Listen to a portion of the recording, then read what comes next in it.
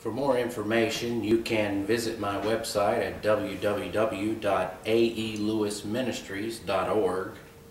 But right now we're studying the sins of the tongue, mainly gossip, and we are studying what a vicious sin gossip is. Now, first of all, you as a believer well, you may not be a believer, and that's fine. By the end of the message, you'll get a chance to make a decision.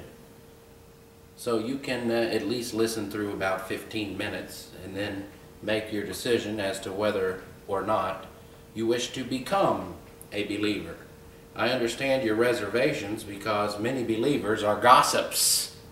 And they've probably gossiped about you and what you do and you may have been to a few churches where they gossiped about you and your lifestyle and you didn't like it because it really didn't make much sense to you. Doesn't make much sense to me either. So let's uh, delve into what the Word of God really has to say and stop relying on what mankind has to say and how man likes to judge and how so many preachers become preachers simply because they're very good at being self-righteous.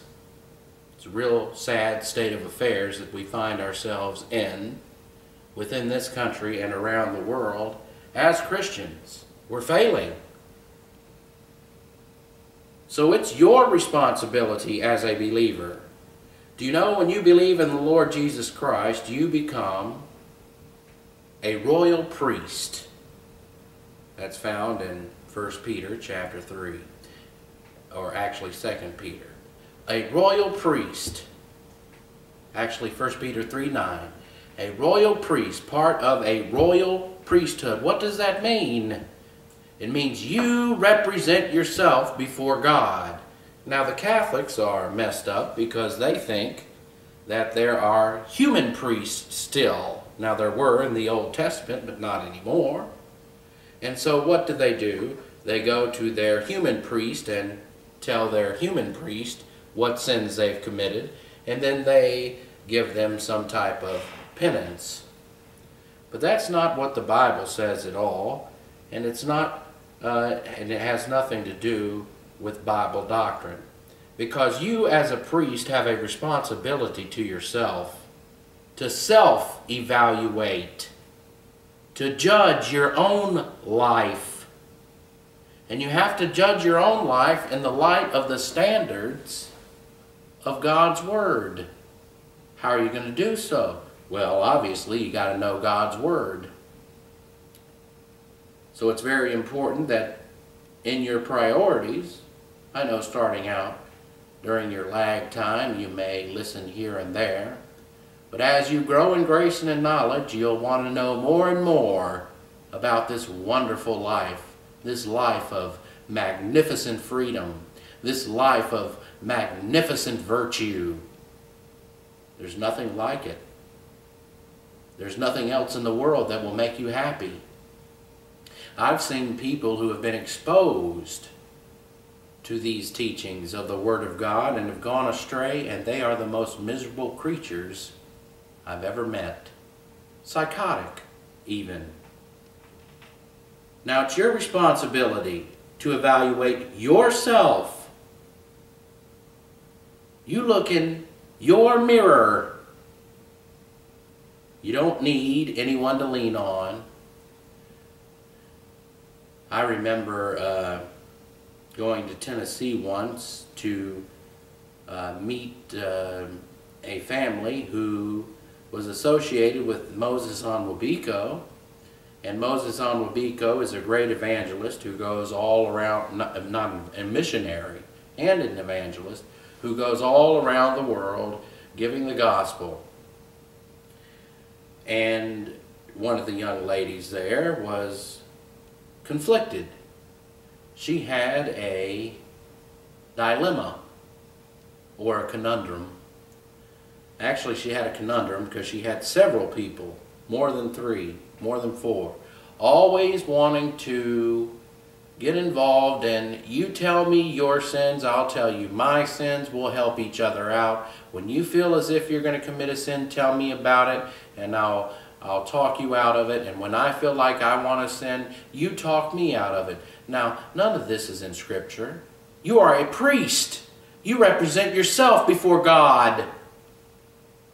You don't represent yourself before another human being.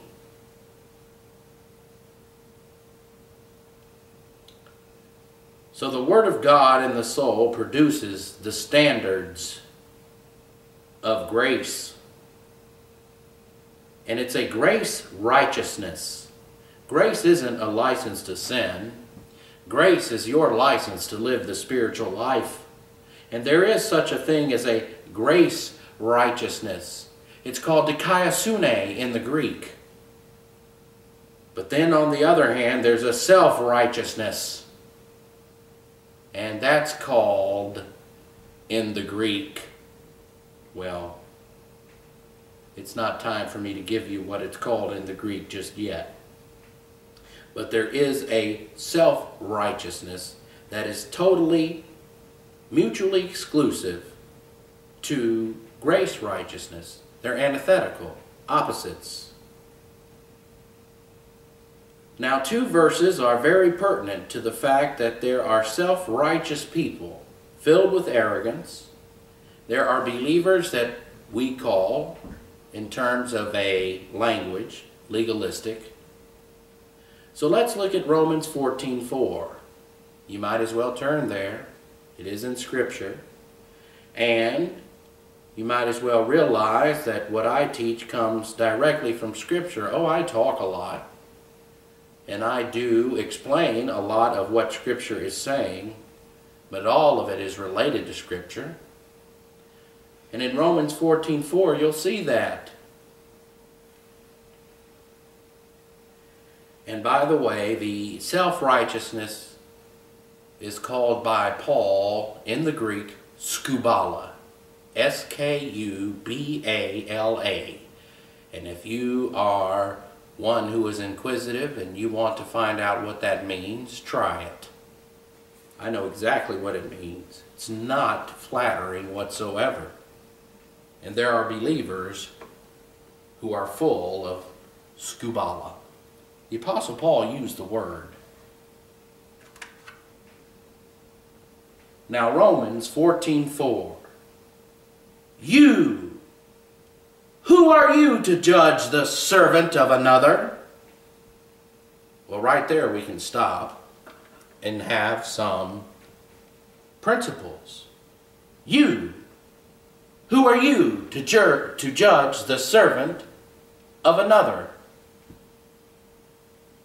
Now, you as a believer in the Lord Jesus Christ, you are either a good servant of the Lord or a bad servant of the Lord, but either way, you're a servant of the Lord. So when you judge, gossip, malign, wag that tongue against a fellow believer, what are you doing? You're judging the servant of another. What gives you that right? Nothing does. It's just arrogance, the old sin nature. So in its entirety, you, who are you to judge the servant of another? To his own Lord he stands or falls, and stand he will, for the Lord is able to make him stand. Do you know what that means? Grace. Doesn't matter how many times you fall over flat on your face and how many times you have a nervous breakdown. We've probably all had one from time to time. You're just not going to admit it because uh, you, you're worried about what people will think. But you've fallen apart. You've fallen on your face. You have really screwed up in your life. You've made terrible decisions. And guess what? No one has a right to judge you. Because guess what?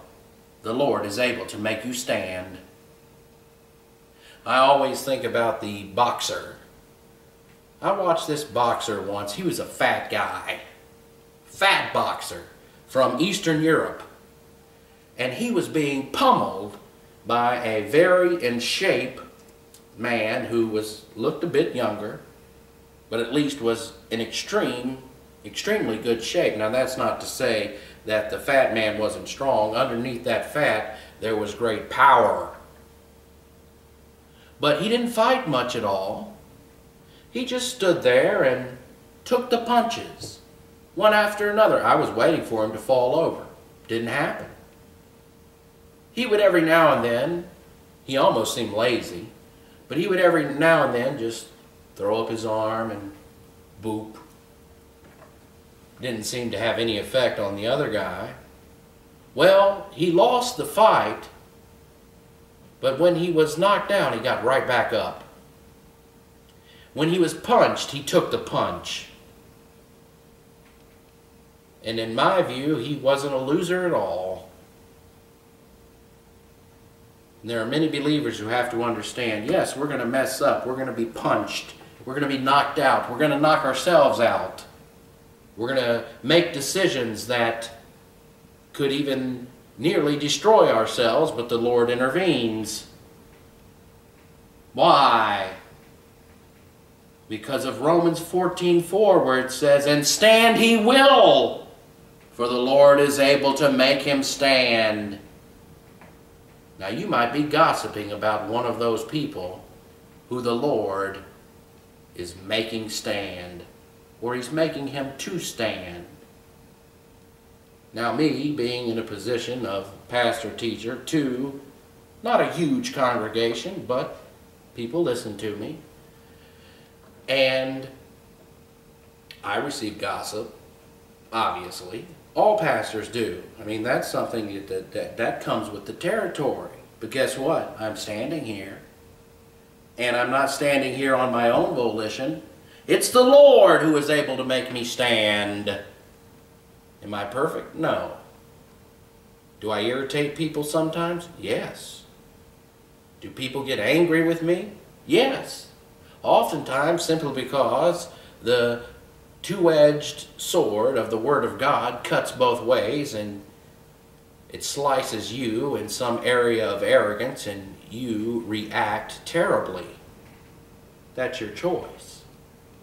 I'm immune to that stuff. It used to get to me, but you grow out of it. The more you grow spiritually, the more you grow out of it. I will admit it used to get to me that I because I couldn't understand. Because I would teach day by day by day and I just couldn't understand some of the things that I was hearing that were totally contradictory to the things that I had been teaching. And it would blow my mind. And I wouldn't say much, but I would come under attack. Well, if you, if you have the gift of pastor teacher and you are going to teach the Word of God as it is, of course you're going to be attacked. People attack grace. And the reason why they attack grace is because grace attacks their arrogance. And they think they are more important than what the Word of God has to say.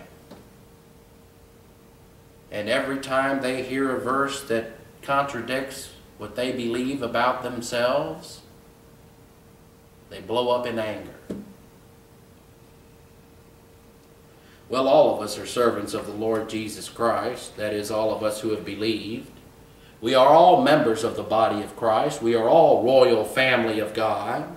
And the evaluation of our lives is our responsibility. It's not the responsibility of someone else. That's why Romans 14.10 states, But you, why do you judge your fellow believer? Or you again, why do you regard your fellow believer with contempt? For we shall stand before the evaluation throne of Jesus Christ. Now, regarding another believer with contempt indicates a tremendous function of arrogance in your life. And why? It's because you don't, you don't know that person you don't know the exact stage of that believer's spiritual growth. They could be a baby believer. They could be a mature believer. And in that case, you're in trouble. If you exercise contempt for another believer, it's inevitable that you're going to try to find some way to malign them. What's malign? Maligning is a lust to hurt. It is a use of the tongue that tries to hurt. It goes along with malice and maliciousness.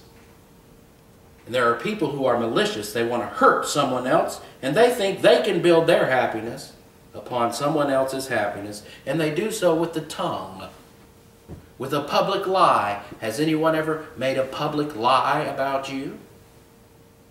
Has anyone ever made a public truth about you? It doesn't matter. What you do is between you and the Lord. You have a personal relationship with the Lord Jesus Christ as a believer in the Lord Jesus Christ.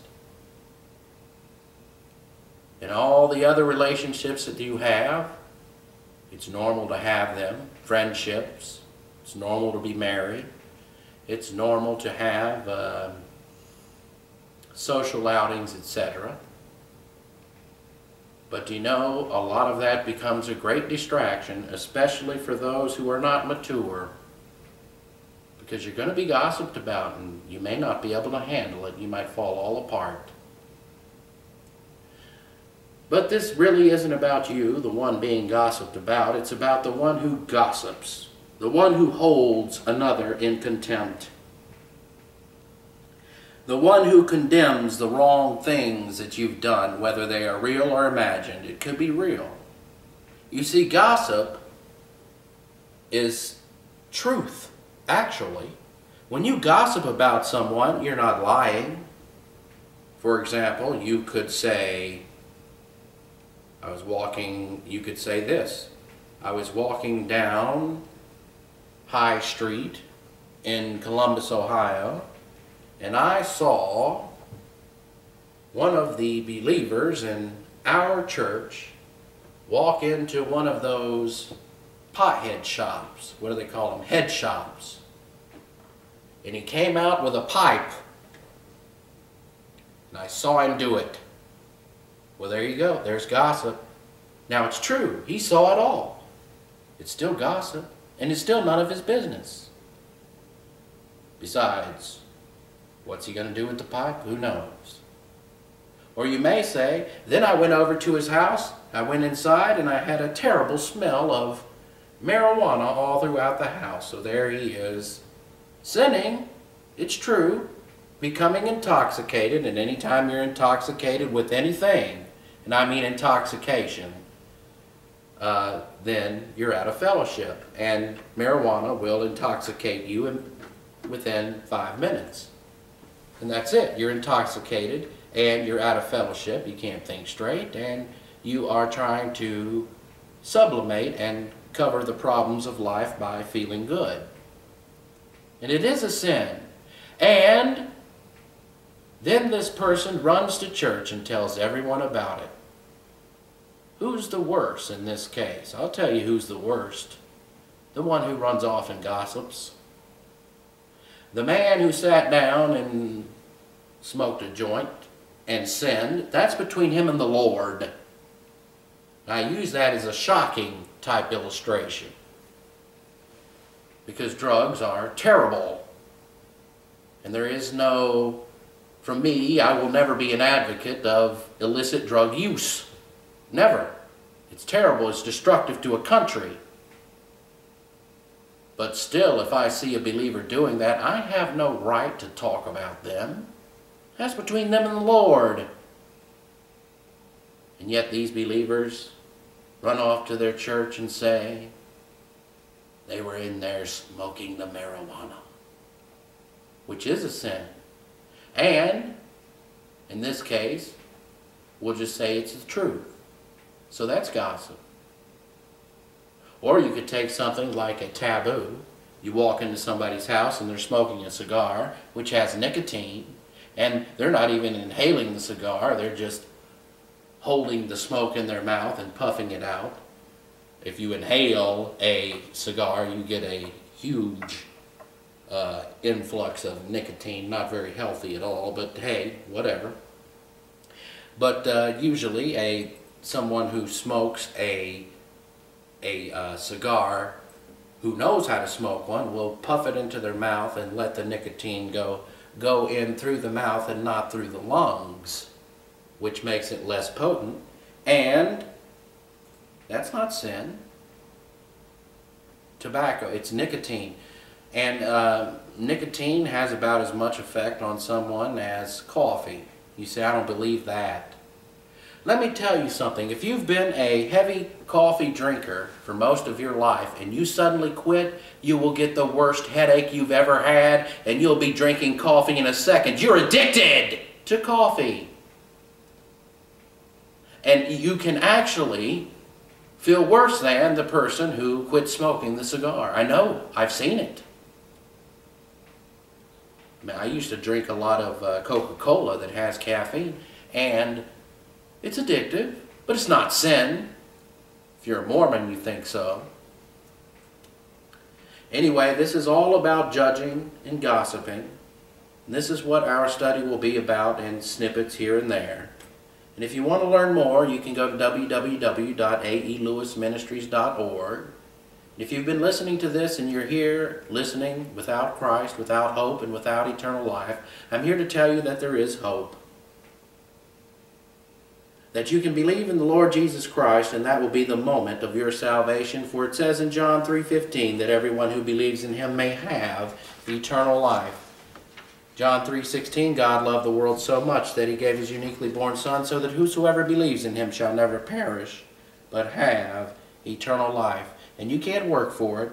For Romans 3.28 says, For we maintain that a man is justified by faith apart from the works of the law. And then in Romans 4, 4 through 5, it even makes it clearer. Now to the one who works for salvation, his wages are calculated not on the basis of grace, but on the basis of debt. In other words, you're digging yourself a deeper and deeper hole the more you work for salvation. You're going into debt. But he who believes in him, who justifies the ungodly, his faith receives credit for righteousness.